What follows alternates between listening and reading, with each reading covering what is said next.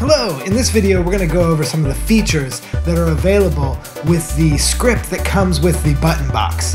When you open the Project Resources button box folder, you'll find inside of that a folder named Software Resources. Further inside of there, you'll find the Ableton MIDI Remote Script button box.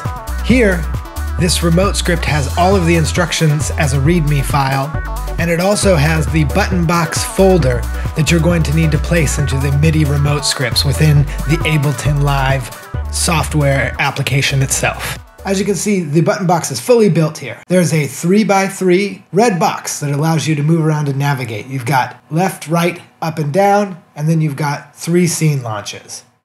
Let's start in. So I started a pad, launched a kick drum, and then launched a scene. Now navigating around using the red box,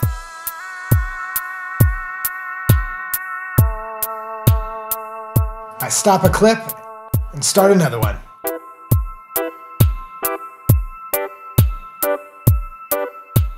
Using the red box to navigate again.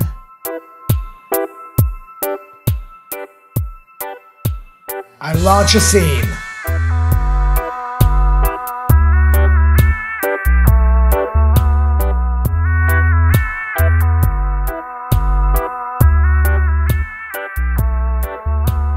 Stopping one clip, launching another clip. Navigating via the red box, stopping another clip.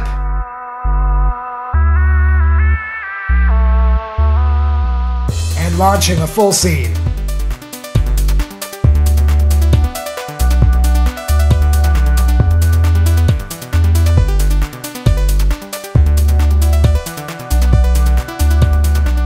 Adding more clips in.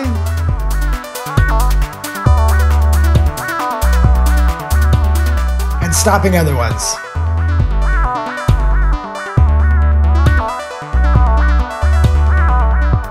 Starting and stopping clips.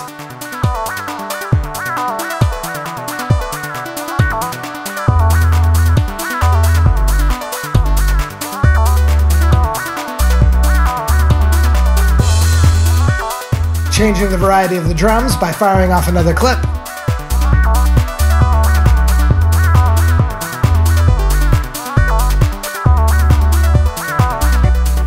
Stopping some clips and adding other ones.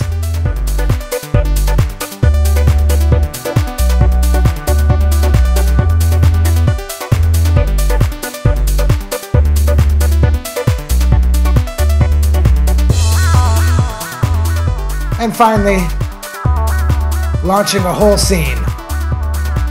As you can see, there's a ton of functionality available with the button box just by utilizing this script in a 4x4 grid. You can make your way all around an Ableton Live set and really start jamming right away, all with a kit that you built yourself.